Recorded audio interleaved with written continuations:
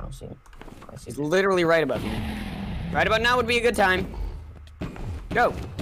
Oh my Come my gosh, blow up the bed. What are you doing? There we go. You Oh, no! Claim it, my man. Dude, he was literally already chilling. Also, apparently pearls do fall faster. I just proved it.